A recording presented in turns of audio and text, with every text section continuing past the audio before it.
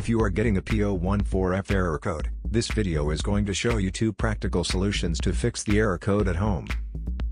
Use the ZUS app to scan your vehicle and see the error code P014F. It means the powertrain control module has detected a slow response time from the upstream oxygen sensor or circuit for engine bank 2. Here are two simple DIY methods you can try to solve this problem. Method A, Fuel Injectors.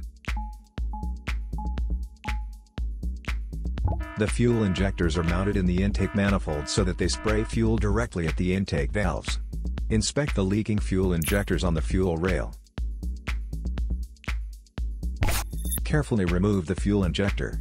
Make sure the new injector has new seals, and never use the old seals over. When you change the fuel injectors, change them all as a set, otherwise the engine will run unevenly. In order to prevent leaking, get some gasoline, put it in a cup, and then dip the new fuel injector into it. So the seals may get wet with gasoline, and it will go in and won't leak. After all, just slide all the new fuel injectors in. Method B, the oxygen sensor. This oxygen sensor is located right before the catalytic converter. Bank 2 is on the side with the cylinder number 2. Sensor number 1 is usually the one in the exhaust manifold.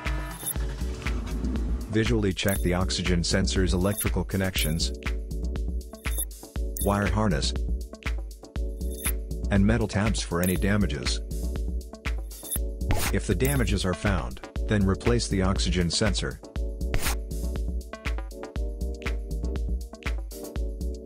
So here are two of the most practical solutions to fix the P014F error code. After the repair, you can now use the ZUS app to clear the error code. And tap the rescan button one more time to make sure everything is fine with your vehicle.